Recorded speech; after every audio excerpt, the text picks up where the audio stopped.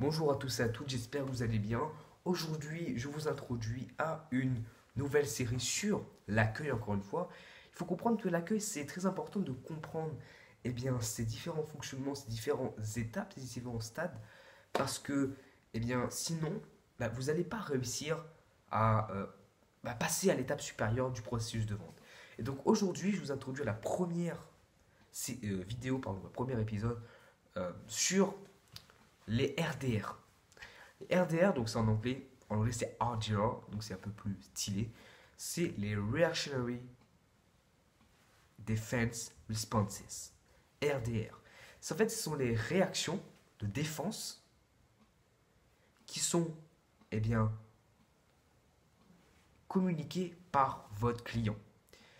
Et donc, si vous arrivez à comprendre ces réactions et à savoir ben, quand elles apparaissent, vous arrivez à comprendre eh bien, quand c'est une objection, comme c'est une plainte, ou quand c'est un RDR, donc une réaction de défense.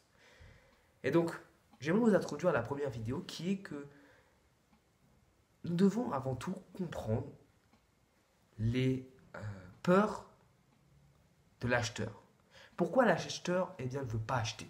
Il faut d'abord comprendre ça. Comme ça, on sait, eh bien, on peut ensuite eh bien, savoir ce qu'il faut dire pour qu'on puisse avancer dans le processus.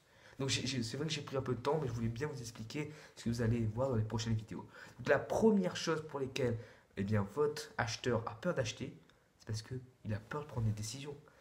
Et eh bien, tout le monde a peur de prendre des décisions, surtout des décisions qui sont élevées, qui peuvent changer notre vie. Donc les décisions sont vraiment des choses qui euh, ben, stoppent les personnes, stoppent vos acheteurs à acheter.